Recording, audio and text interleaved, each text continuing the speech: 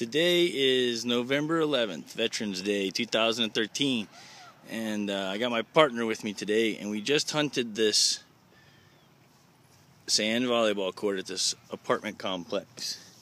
we're going to show you what we found real quick. All right. Right there, how many? Okay. We found one, two. We found nine, nine pennies. I don't know what this is exactly. It's a plug for some But- sort of pipe. Yeah, it's a plug for some sort of pipe. That's what my first All right, guess was. keep going. So we found one of those and a Chuck E. Cheese coin. That's worth its weight in gold. and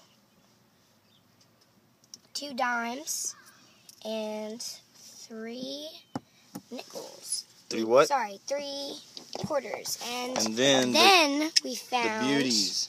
the beauties of this hunt, which I, I think I think is personally my favorite. Uh, we found these monster trucks, and this is one of them. I'm gonna have to get this sand Just go ahead and get the. And then we got a truck with Hold it up so we can see it. with this and has some sand in it, but we'll get that out later. So I think it's a very nice truck because looks like one of my friends. So that's all we found today, but hopefully our next one will be very, very, very more convenient Successful? and successful. Successful. Hopefully we'll find a diamond ring next time. That's right. Say bye. bye.